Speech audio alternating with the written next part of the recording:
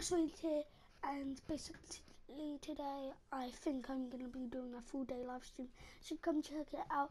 Twitch.tv slash batch Raid. You know it's gonna be turn of prestige. Get to a higher level.